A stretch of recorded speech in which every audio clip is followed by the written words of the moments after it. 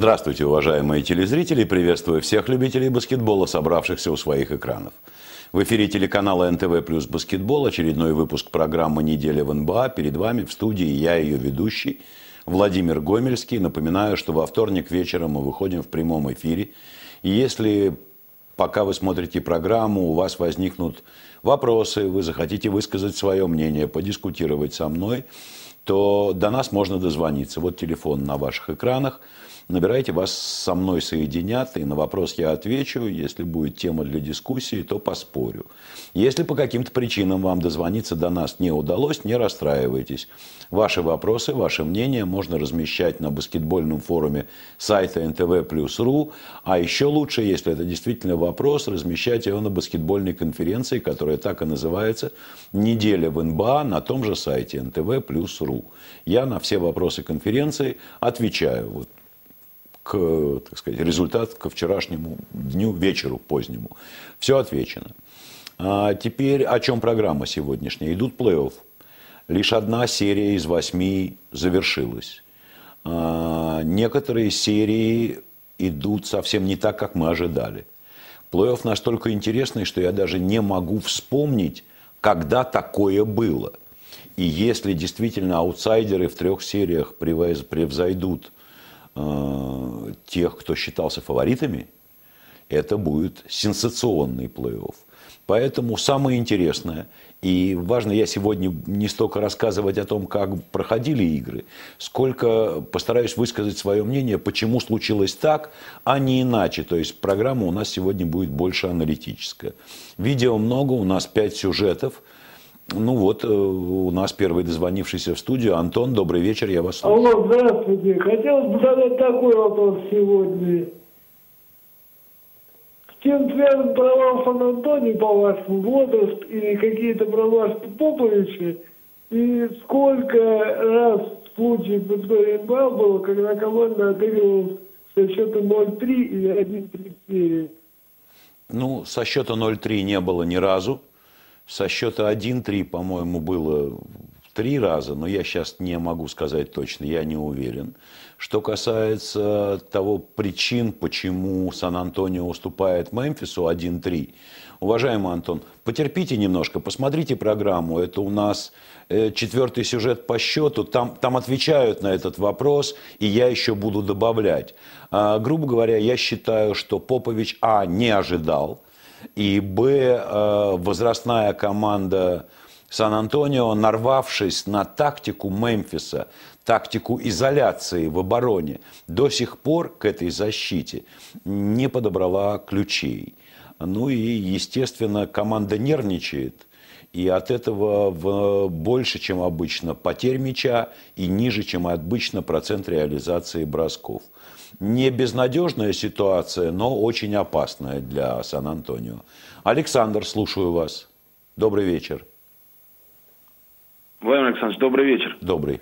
Владимир Александрович, а можно такой вопрос? Вы комментировали Бостон, Нью-Йорк, и как думаете, э, вот эти обмены, что произошли у Нью-Йорка и э, Марка до Антони, и получили сейчас опыт, как бы с, они с Бостоном, да, насильно сразу попали.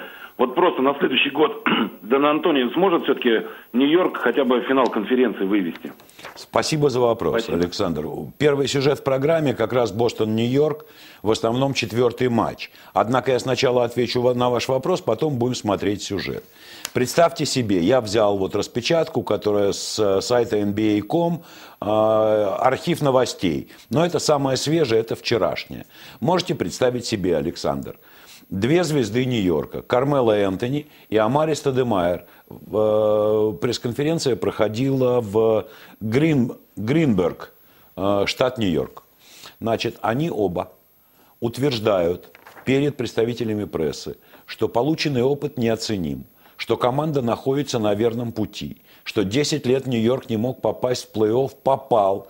И если бы не объективные причины, как то травма Биллопса, и он не принимал участие в последних двух матчах, а больная спина Амари, то и Бостону бы дали бой.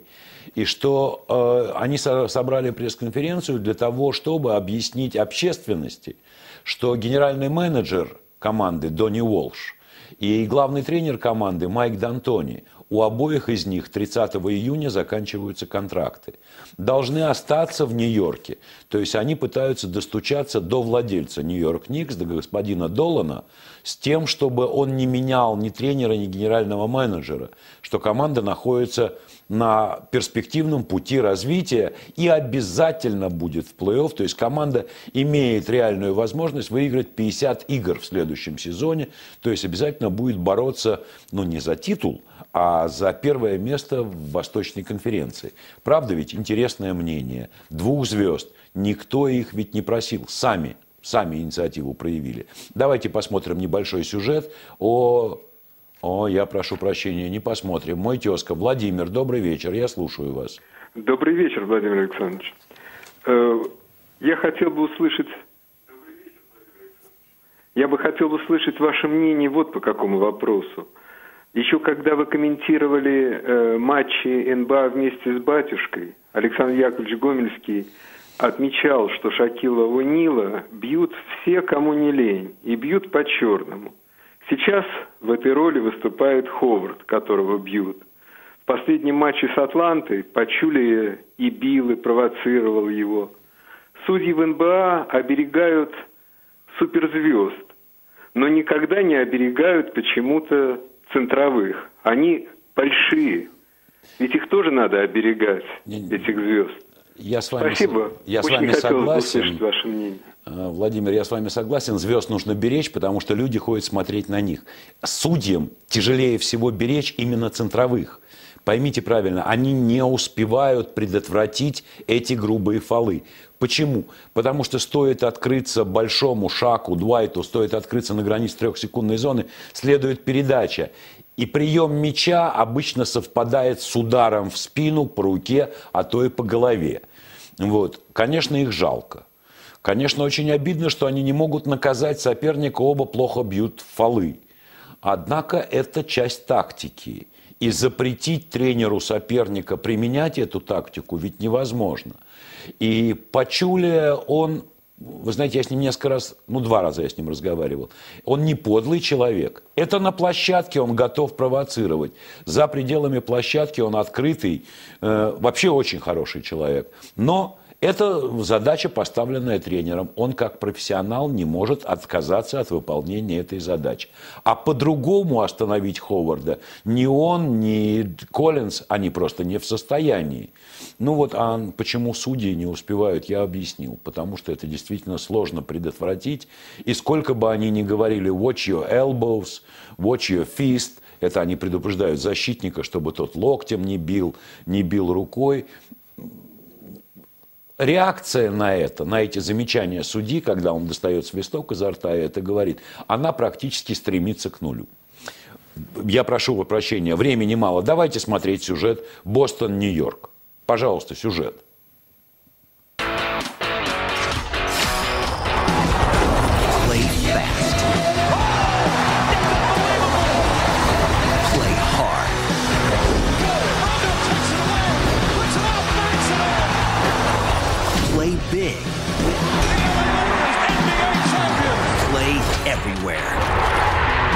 This is the NBA playoffs. See every NBA playoffs game with NBA League Pass. To watch online and on mobile, go to NBA.tv and sign up now.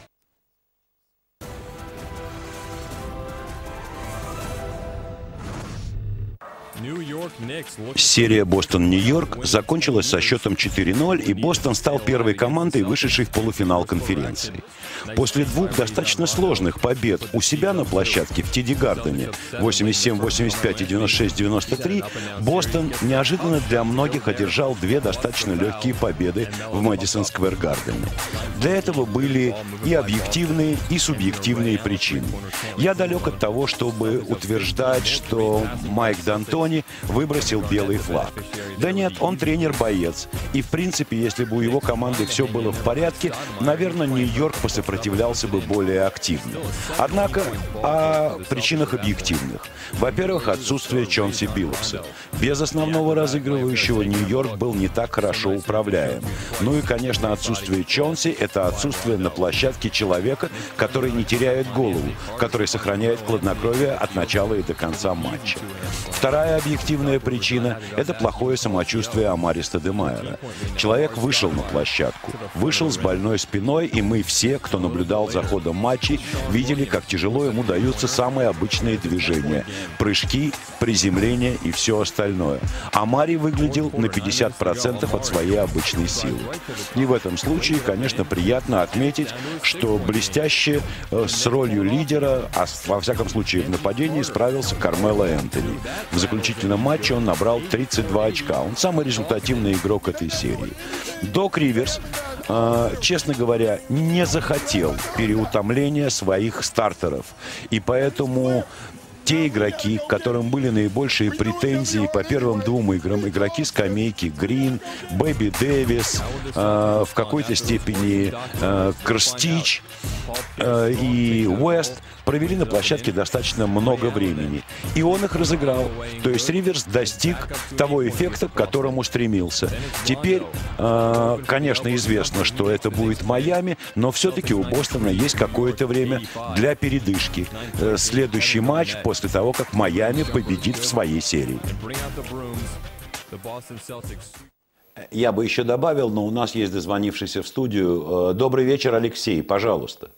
Здравствуйте, Владимир Александрович. Добрый вечер. Э, в первую очередь хотел бы поздравить э, всех болельщиков Мемфис Гризлис. Э, сегодняшняя вот прекрасная просто победа была. Спасибо за это Лайнелу Холлинс. Огромную работу он проделал. Вот. Кто не смотрел матч, обязательно посмотрите. Просто невероятная самоотдача у ребят сегодня была. Вот у меня такой вопрос, Владимир Александрович. Вот команда сейчас выступает без своего лидера, то есть без Руди Гея. Вот. Я хотел узнать, как вы считаете, каких бы, ну, то есть, каких высот бы они добились в этом э, плей если бы он был э, в команде?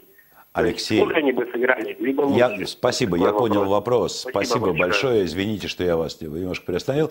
Вы понимаете, команда играет без Руди Гея лучше, чем с Руди Геем. И, может быть, его отсутствие – это дополнительный стимул, дополнительная мотивация для всей команды. И Оджи Мэй в роли шестого игрока выглядит гораздо увереннее и лучше, чем во время сезона. Во всяком случае, он больше не обижается на партнеров и является более производительным, чем во время регулярки. Мне кажется, что Холлинс к концу сезона привел свою команду такого тяжелого по характеру игрока, как Зак Рэндольф, такого плохо стимулируемого, плохо мотивируемого игрока, как Марк Газоль, к состоянию, когда они хотят играть в баскетбол и на том и на другом конце площадки как команда у них прекрасно получается то, что американцы по глупости называют лишней передачей. Вы посмотрите, как они любят друг друга этой передачей, как отдают снайперам мяч, сколько у Мемфиса бросков с трехочковой дуги без сопротивления за счет этой якобы лишней передачи. Нет-нет, Руди Гей, конечно, лидер команды по результативности. Он тот человек, которому можно отдать мяч э, в ситуации, когда ни у кого не идет игра. Но заставить Руди Гея защищаться, и это Холлинсу, это следующая задача главного тренера Лайонела Холлинса. Мне так кажется. Вы задаете вопросы по западной конференции, а у нас еще восточная не закрыта. Следующий сюжет по Филадельфии Майами готовил Павел Занозин. Пожалуйста.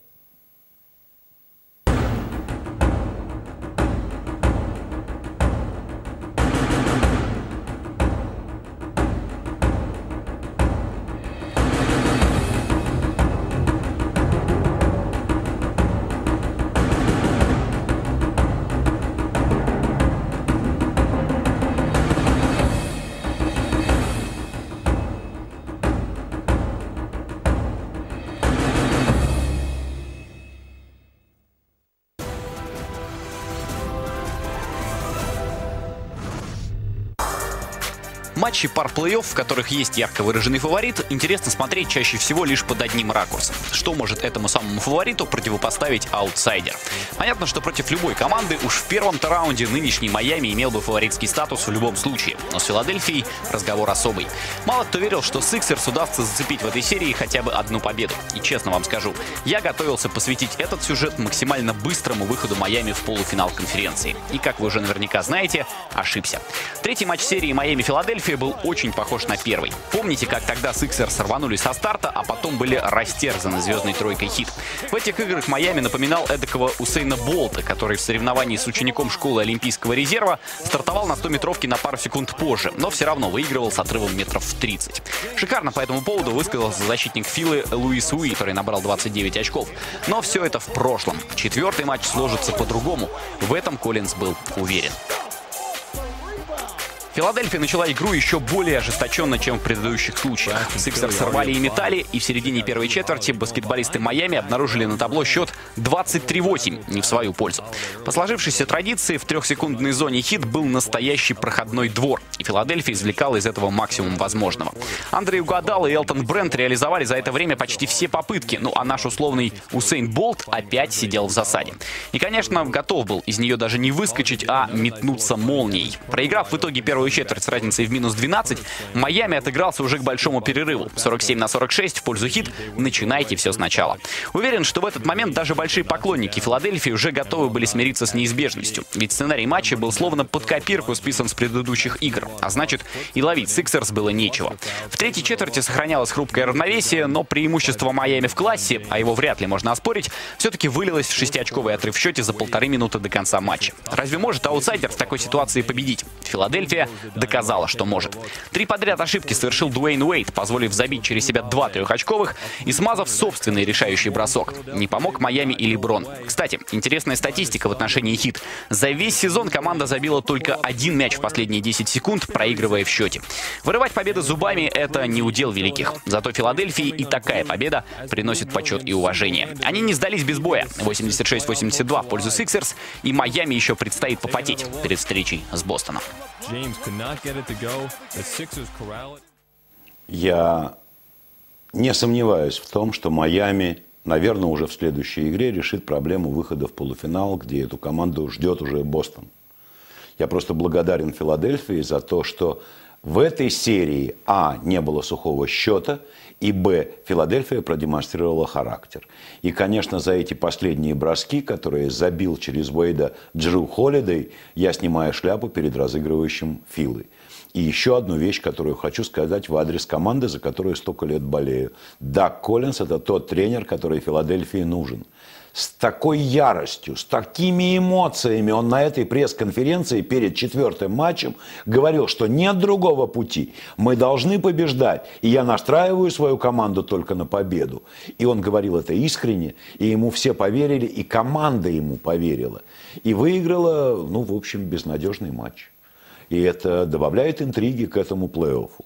Следующий сюжет, следующая серия. Я не затрагиваю на Востоке только серию Чикаго-Индиана. Там, в общем, несмотря на победу Индианы в четвертом матче, интрига тоже почти умерла. А, следующая серия – это Атланта-Орландо. Давайте смотреть.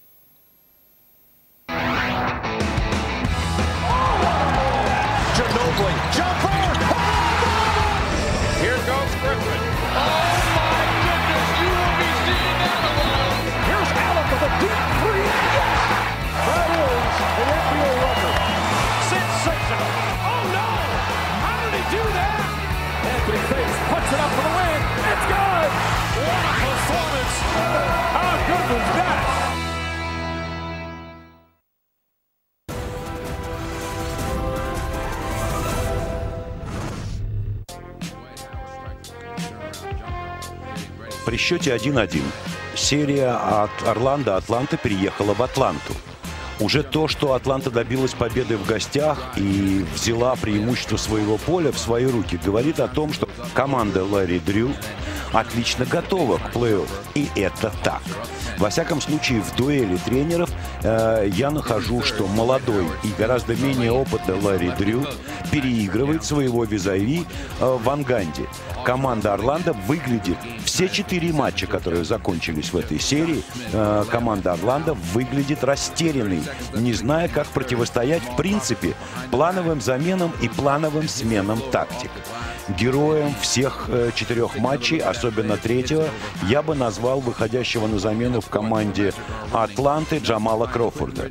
В третьем матче он набрал 23 очка, проведя на площадке 29 минут. Ну, не справляются с ним э, никто. Особенно это заметно, когда его держит основной разыгрывающий команды Орландо Джамир Нельсон. Джамир никогда не отличался отличной игрой в обороне. А здесь против такого агрессора, как Крофорд, он просто растерян. Но, если честно, Крофорд забивает не только Нельсону. Он и в те минуты, когда его держит Гилберт Аринос или Джейсон Ричардсон, не молчит. Вся команда Атланта, заиграя в матчах с Орландо, демонстрирует отличный Э, командный баскетбол. Я бы хотел отметить Зазу Пачули. Э, второй центровой команды Атланта немного времени проводит на площадке. Его главная задача – сдержать э, Дуайта Ховарда. И Заза Пачули не стесняется в выборе средств. Он знает, что если он быстро получит 6 фолов, его никто ругать не будет. И Пачули, конечно, провоцирует Ховарда, да и всю команду соперников. В конечном итоге вот в третьей игре случился эпизод, когда его его и Джейсона Ричардсона удалили с площадки. Ничего страшного, это часть тактики, которую Лэри Дрю применяет. Да, с Дуайтом Ховардом не справляются все четыре игры. В третьей Дуайт Ховард набрал 21 очко и сделал 15 подборов. Это не помешало Атланте победить. 88-84. И Атланта за счет своих коллективных усилий в обороне и не менее коллективных усилий в нападении добивается вот второй победы. На ваших экранах это концовка матча. Э, второй победы. Посмотрите, какой мяч фантастически забивает Крофорд в последней атаке Атланты. Мало того, что он достоинством в три очка, он еще влетел в кольцо соперника, отскочив от щита. И ничего Джамир Нельсон с этим поделать не мог. Я бы сказал, что он защищался пассивно. В ответной атаке э, баскетболисты Орландо атаковали из-за трехочковой линии и потом боролись за подбор, но не выиграли. Счет стал 2-1. И сейчас мы будем смотреть отрывки четвертого матча четвертом матче, э, понятное дело, никаких изменений в стартовых пятерках. Я в очередной раз отмечаю очень слабую игру в этой серии плей-офф э, Хида Туркаглу. В общем, Джеффу Ван Ганди приходится решать проблемы не только кто у него основной разыгрывающий и кто у него выходит на позиции атакующего защитника. Кстати, в этом матче вышел Куэнтин Ричардсон. А, но еще и кто у него в нападении может сыграть против Туркаглу. Никто, как как выяснилось, если выходы на площадку Гилберта Ариноса и Джей Джей Реддика игры Орландо не ослабляют, то появление Райана Андерсона в принципе делает команду Орландо весьма уязвимой и в защите, и в нападении. А у Атланты все по-прежнему. И в четвертом матче баскетболисты Атланты и их лидеры Джош Смит, Эл Хорфорд, Джо Джонсон сыграли просто блестяще. Джонсон забил 20 очков, сделал 9 подборов, отдал, между прочим, две голевые передачи, что ему совершенно не свойственно. Мне нравится, что вот в стартовой пятерке на позиции разыгрывающего выходит Кирк Хайнрих, который здорово защищается. А когда нужно усилить игру в нападении, появляется э, Джамал Крофорд, который может быть меньше, чем Хайнрих дирижирует дирижирует игрой в роли разыгрывающего, но зато как классно он нападает. И в четвертом матче серии Джамал набрал 25 очков. Это много для разыгрывающего защитника. Это какой-то тупик. Во всех четырех матчах ни один игрок Орландо не смог справиться с Джамалом. Это тупик тактики в Анганде, который, в общем, не заслуживает добрых слов. Опять солировал в составе Орландо Дуайт Ховард. 29 очков, 17 подборов. Ну, правда, он сильнейший, индивидуально сильнейший центровой. Он получил приз лучшего защищающегося игрока лиги в третий раз подряд. В его адрес не хочу говорить ни одного плохого слова. Но для того, чтобы побеждать, команда должна иметь что-то еще. Обратите внимание, как э, Эл Хорфорд блестяще на последних секундах сыграл против Хида Туркаглу и практически сорвал Орландо ту атаку, которая могла бы перевести матч в дополнительную пятиминутку, в овертайм. Ну, в общем, 88-85 и 3-1 в пользу Атланты. Сенсация назревает. Ну вот, э, нижняя пара, вы видите, Бостон уже в полуфинале, ждет Майами. Э, Атланта, Орландо. Я не возьмусь сказать, что Атланта практически обеспечила себе выход в полуфинал, но близка к этому. Первая сенсация – Чикаго, Индиана 3-1. Я надеюсь, что Чикаго в пятом матче решит свою проблему. Спасибо. Переходим к западной конференции. Единственное, что я хотел добавить.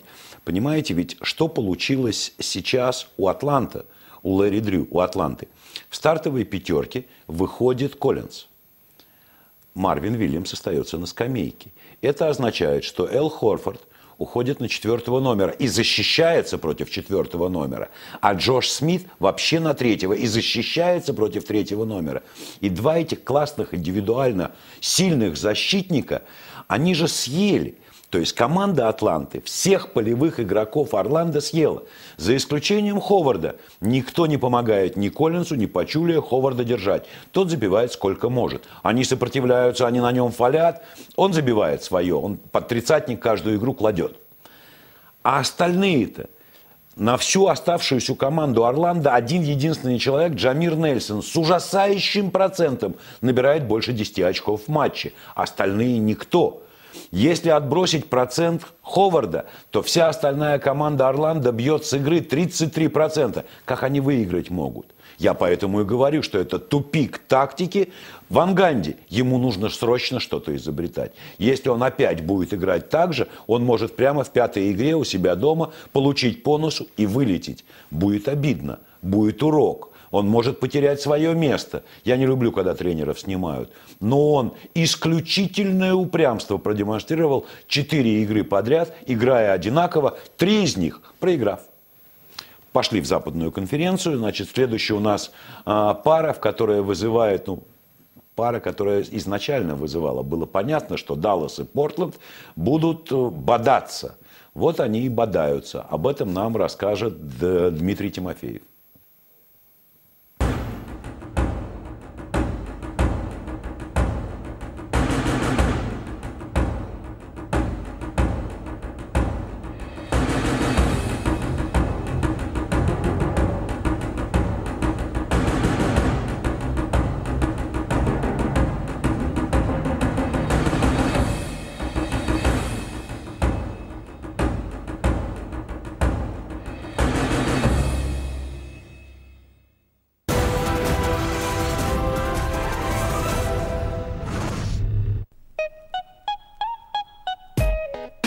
Удивительное дело. В то время как регулярка потихоньку близилась к своему логическому завершению и все, кому не лень, стали анализировать возможные пары плей-офф, многие наткнулись на достаточно странное умозаключение. Удобного соперника для Dallas Mavericks, одной из лучших команд сезона, не нашлось.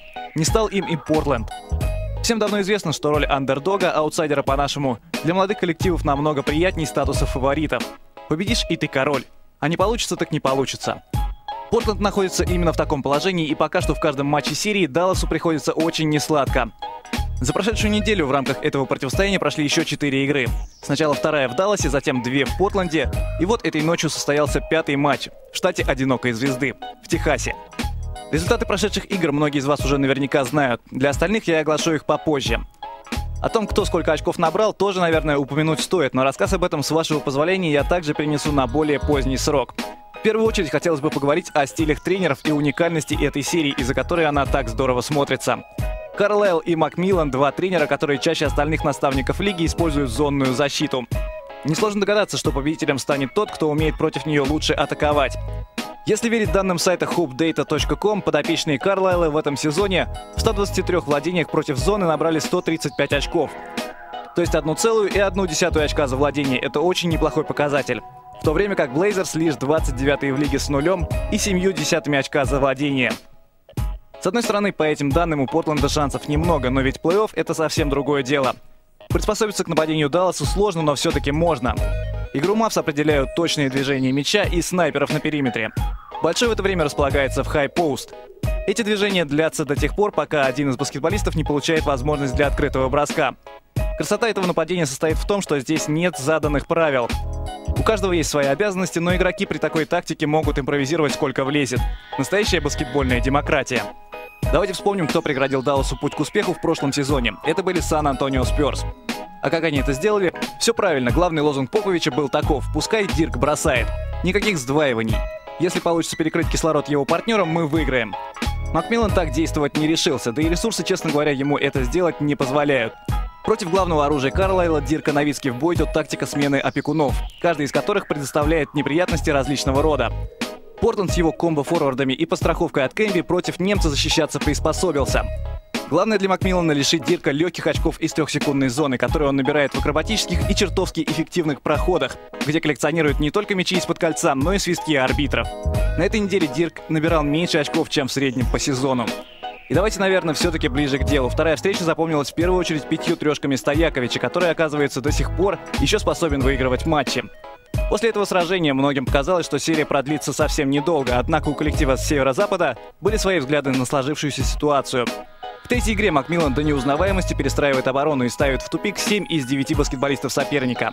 Не поддаются общей панике лишь Новицкий и Терри, которые набирают на двоих почти 60 очков. Но для победы этого было маловато. Счет в серии становится 2-1. А когда надо было собраться, сделать это не получилось. А у Портленда полетело. Забивали все и в большом количестве. Ну и, конечно же, Брэндон Рой. 18 очков в заключительном отрезке и вот этот решающий бросок далеко не полный перечень достижений Роя в этом поединке. Счет серии сравнялся, а сражение снова переместилось в Даллас. И здесь, в American Airlines центре, в пятом матче, который зачастую становится решающим, Карлайл уже подопечным спуску не дал. Маверик завладели инициативой во второй четверти, и как ни старался Макмиллан, постоянно менявший оборонительные схемы, остановить Дирка и его компанию он не сумел. На этот раз, кроме Новицки и Терри, выстрелили еще и Чендлер с Мэрионом. Именно скромная вариативность в нападении – одна из главных слабых сторон Далласа, особенно после потери Батлера – Сегодня ее не наблюдалось, и Маверикс теперь снова ведут в серии 3-2. Но ведь Макмиллан не зря является помощником главного тренера сборной США. Подводить итоги в противостоянии еще очень рано. Шестая игра пройдет в Портленде, где выступает команда, которая уже 10 лет не добиралась до полуфинала конференции. Мне почему-то кажется, что все будет решаться в седьмой игре.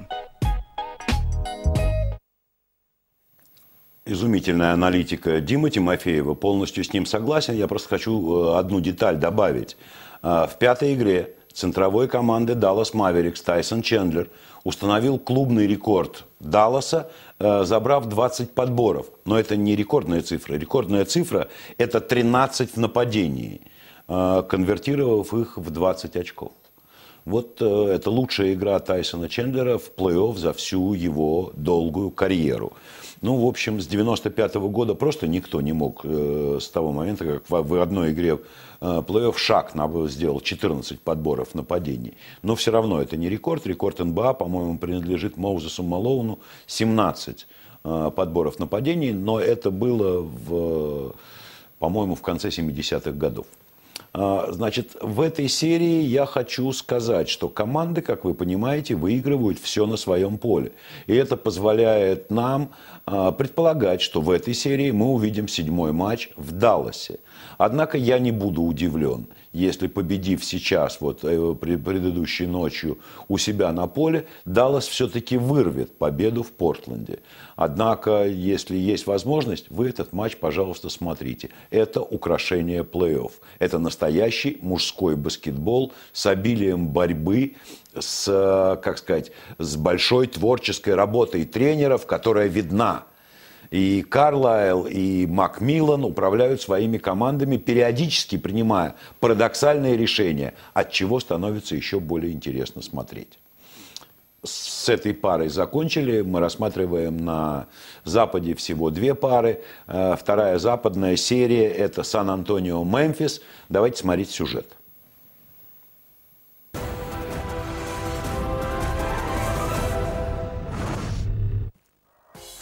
Еще одна серия, в которой неожиданный результат после четырех матчей. Это серия западной конференции между Сан-Антонио Сперс и Мемфис Гризлис.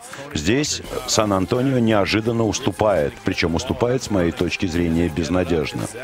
После того, как команды поделили победы в матчах э, на площадке Сан-Антонио Сперс, в Мемфисе мы видим отрывки третьего матча. Баскетболисты и хозяев в белой форме опять блестяще себя проявили лидеры Мемфиса. Причем, когда я говорю лидеры, я абсолютно уверен в том, что это вся стартовая пятерка команды Холлинза. Вы представьте, Зак Рэндольф практически каждую игру делает дабл-дабл. Марк Газоль, который, если не делает дабл-дабл, но во всяком случае переигрывает, обязательно переигрывает своего визави, а это не кто-нибудь, это Тим Данкан э, в составе соперника. Блестяще действует Майк Конли, разыгрывающий, который не только много э, раздает результативных передач, но и от, отличается высокой результативностью. Самое главное, что вся команда Холлинза прекрасно играет в обороне.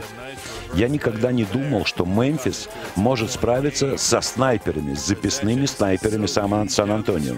Вы представьте, Ману Женойбели и Ричард Джефферсон не забивают э, свое количество трехочковых. Если у Ману Женойбели еще хоть что-то получается, то у Ричарда Джефферсона прицел просто сбит.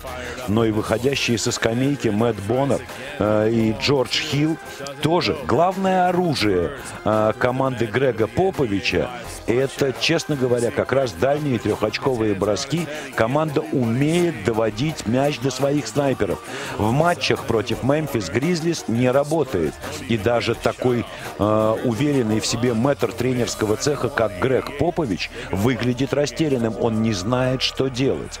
Да, команда в третьем э, матче победила с разрывом всего 3 очка. 91-88. И тем не менее, победа-то идет в зачет. Главное не разница в счете. Главное то, что произошло. Обратите внимание, нам дают отрывки из э, старых серий. Я увидел 93-87.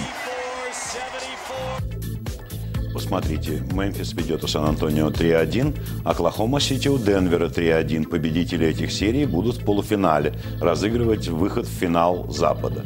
Лейкерс с Новым Орлеаном поделили победы как в Лос-Анджелесе, так и в Новом Орлеане. 2-2. А, Даллас ведет упорно до 3-2. Про эту серию мы все знаем.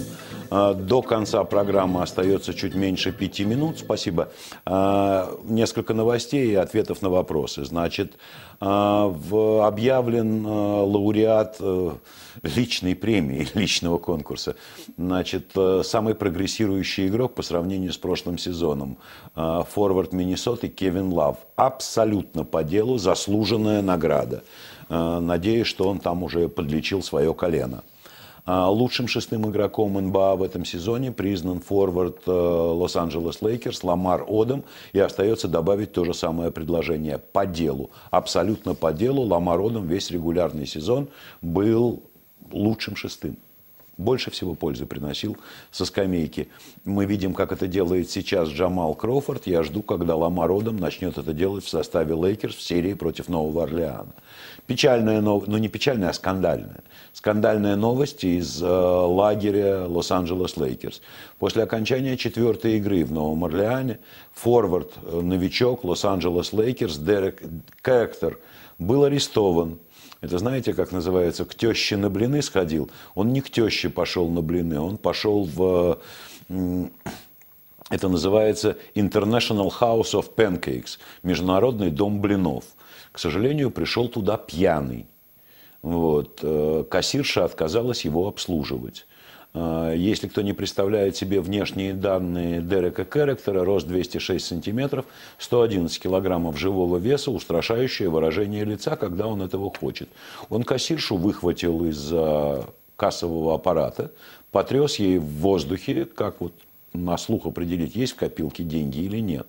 И поставил ее со стороны прилавка, но уже со, со своей стороны. А, была вызвана полиция, его арестовали, он провел ночь в полицейском участке, был выпущен под залог. А, ну, во всяком случае, это такое пятно на красивую золотолиловую форму Лейкерс молодой человек поставил. Очень обидно. Очень обидно, что вот он таким образом, он же ведь всего в 41 матче в регулярном сезоне выходил на площадку. Он ни в одном из четырех матчей против Нового Орлеана на площадку вообще не выходил. Никакой роли в э, Лос-Анджелес Лейкерс, он перспективный парень, он не играет. Ну вот отличился. Ну, на самом деле история такая неприятная. Есть время ответить на два вопроса, очень хочу. Значит, э, меня спрашивает э, посетитель форума с ником Сабонис Одесса. Одесский Сабонис, это уже интересно. Уважаемый Владимир Александрович, э, вопрос не по теме плей-офф. Не могли бы вы разъяснить, почему в НБА играют одни и те же 30 команд? Нет вылета и прихода новых, как в футболе в европейских чемпионатах, тем более в США много городов, а в Лос-Анджелесе аж две команды. Мне было бы интересно наблюдать за новыми командами. И чего из Канады? Только Торонто. А, значит, уважаемый Сабонис Одесса, я хочу вам сказать, что по форме собственности – а, Национальная баскетбольная ассоциация является акционерным обществом закрытого типа. Учредителями и акционерами этой организации НБА являются владельцы клубов, неважно, физические это лица или юридические, причем в равных долях. И каждый раз, когда Национальная баскетбольная ассоциация принимает в свои ряды еще одного члена, или двух, там, как вот в последнее время по два было, нечетное число неудобно для проведения чемпионата. Так вот, когда будут приниматься в члены НБА 31 и 32 команда, то общая стоимость всего акционерного общества будет оценена. И будет в этом случае 1,32 от этой стоимости. Это и будет вступительный взнос этих команд.